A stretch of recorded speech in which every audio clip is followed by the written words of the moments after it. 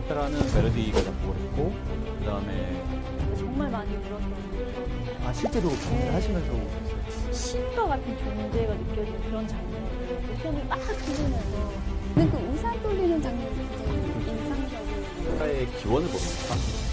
네, 이제 그 바, 바르기 남자하고 비엔지 사랑인가요 국가인 나가죠.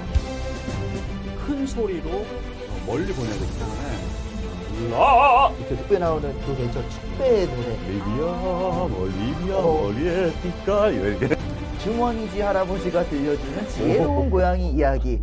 주머니쥐 할아버지가 엘리엇의 그 별칭이